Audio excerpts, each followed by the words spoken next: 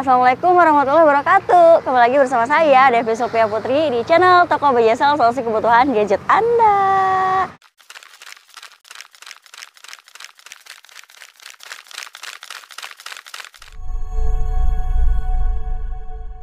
Yap, kali ini kita akan review nih dari kamera Samsung Galaxy A14 LTE ya. Kita akan review mulai dari hasil-hasil fotonya dan juga videonya. Apakah kamera 50 megapiksel ini bagus hasilnya? Dan kita akan cobain juga kamera ultra wide yang terbaru di Samsung Galaxy A14 LTE ya. Penasaran kan ada fitur apa aja di kamera Samsung Galaxy A14 LTE? Namun sebelum ke videonya jangan lupa buat subscribe, like, komen, serta share ya. Yuk kita langsung check it out, cobain kamera Samsung Galaxy A14 LTE. Oke, yang pertama kita cobain fitur kamera di 50 megapiksel ini bawaannya standar ya kameranya. Namun kalau misalkan kalian mau ke kamera 50 megapikselnya, kalian klik ke sini caranya nih. Nah, lalu ada 3 banding 4 50 megapiksel. Kalian klik dan kita cobain hasil fotonya seperti apa.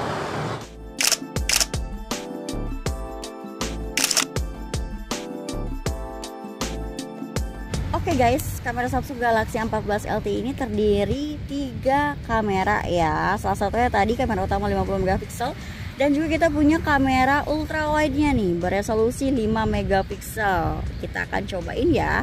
Oh iya, yang belum tahu caranya, teman-teman nanti tetap sih kalau masuk ke kamera standar nanti teman-teman klik 5 ya 0,5 maksud di sini ya. Klik 0,5 lalu teman-teman bisa langsung lihat hasil kamera ultrawide Samsung Galaxy A14 LTE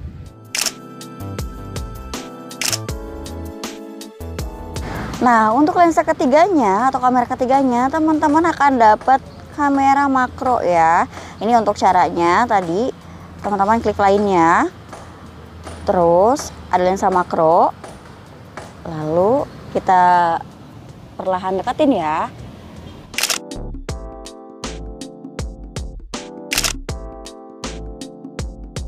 Oke teman-teman, selain kamera utama 50 megapiksel, kamera ultrawide serta kamera makro, Samsung Galaxy A14 LTE ini mempunyai fitur potret ya. Kita akan cobain hasil potretnya, hasil blurnya seperti apa.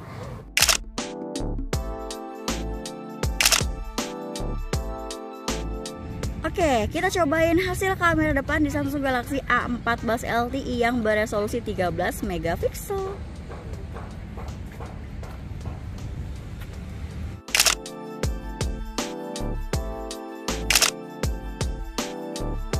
Nah, selain tiga kamera yang tadi dan ada fitur bokeh, Samsung Galaxy A14 LTE juga punya fitur yang lainnya loh. Kita langsung lihat di yang lainnya ya. Klik yang lainnya. Di sini ada mode Pro, Oke. Dan juga klik lainnya lagi. Di sini ada panorama, fitur panorama ya. Selain itu, ada fitur makanan dan kita akan coba salah satu fitur yaitu panorama.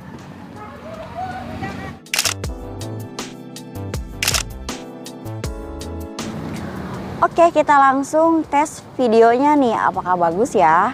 Langsung masuk ke menu video. Dan kita lihat dulu nih resolusinya ada apa aja sih untuk videonya. Oke, dan ternyata untuk resolusinya ada Full HD 30 frame per second dan HD 30 frame per second. Namun kita akan coba di Full HD 30 frame per second ya untuk hasil videonya. Kita langsung tes ini dia hasil video kamera belakang Samsung Galaxy A14 LTE gimana nih?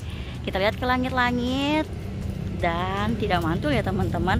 Ini aku tanpa mic tambahan ya untuk hasil video di kamera Samsung Galaxy A14 LTE tanpa mic tambahan dan gimana nih suara aku terdengar lebih jelas atau tidak ya Oke selain video utama Samsung Galaxy A14 LTE juga bisa merekam video ultra wide nih. Dengan fitur ultra wide ya 0,5 kita langsung cek aja.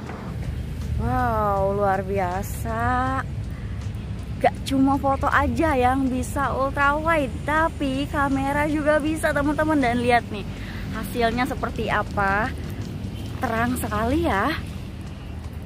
Dan dia menyesuaikan untuk tingkat cahayanya teman-teman dan aku pakai yang Full HD 30 frame per second tanpa mic tambahan.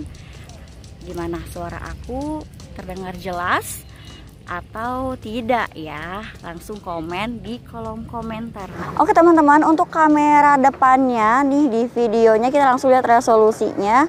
Ada Full HD Plus 30 frame per second dan HD Plus 30 frame per second ya. Oke kita langsung tes aja kamera Samsung Galaxy A14 LTE untuk video kamera depan ya. Nah gimana nih hasilnya teman-teman? Wih wow. Menurut aku sih oke okay banget ya keren banget. Ini resolusi kamera depannya itu 13 megapiksel. Untuk videonya tuh nggak gelap dan terang. Kita coba lihat ke langit-langit ke atas ya dan ke bawah. Tuh warna kulit aku juga. Ini bener-bener putih banget teman-teman dan ini tanpa mic tambahan ya. Hasilnya tanpa mic tambahan. Oke kita pakai yang full HD frame per second 30 ya untuk kamera depannya. Dan untuk di kamera depan ini nggak ada fitur ultra wide teman-teman. Tadi fitur ultra wide itu di kamera belakang aja. Tinggal tulis di kolom komentar gimana nih reaksi teman-teman melihat video kamera depan di Samsung Galaxy A14 LTE Nah, itu dia hasil dari kamera Samsung Galaxy A14 LTE. Gimana nih hasil dari foto dan videonya? Keren bukan? Bagus bukan? Hmm, kalau menurut saya sih bagus dan keren ya. Untuk foto-fotonya juga hasilnya detail dan juga cerah. Videonya juga sangat keren banget ya dari pencahayaannya. Terus juga dari yang lainnya deh. Pokoknya top abis. Gimana nih menurut kalian hasil dari kamera Samsung Galaxy A14 LTE ini? Tulis di kolom komentar ya. Nah, buat teman-teman juga yang mau nih bisa dapetin Samsung Galaxy A14 LTE ini di BJSL Jalan Suara nomor 214 Majalengka. Bisa juga di Samsung SLM Partner BJSL di Jalan Kiai Haji Abdul Halim nomor 226 Majalengka. Dan kita juga punya marketplace-nya nih ada di Shopee, Tokopedia dan juga Bukalapak serta aplikasi BJSL. Oke cukup sekian video review kamera dari Samsung Galaxy A14 LTE ini. Jangan lupa buat subscribe, like, serta komen ya. Dan dari Putri mohon pamit. Sampai jumpa di video selanjutnya. Bye-bye.